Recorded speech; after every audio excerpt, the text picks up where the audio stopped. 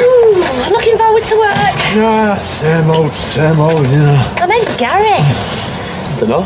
Oh, it must be nice though to get out of the house, do something, bit of banter with workmates. I suppose so.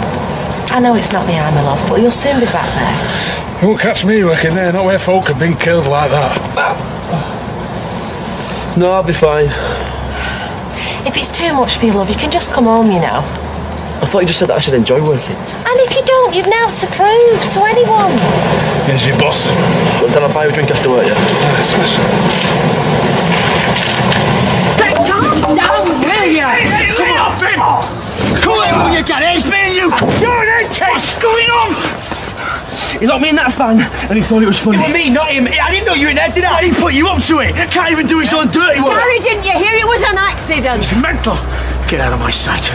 And if I catch you anywhere near my daughter, you'll think being locked in the van was a picnic. hey, hey, hey, hey, hey.